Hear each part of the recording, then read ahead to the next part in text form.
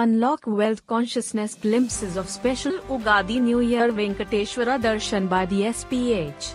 This Ugadi, devotees worldwide experienced a profound spiritual event with the Supreme Pontiff of Hinduism as Bhagwan Venkateshwara, focusing on unlocking wealth consciousness. In this auspicious celebration of the Hindu New Year, the SPH bestowed transformative blessings of abundance and wealth upon all participants.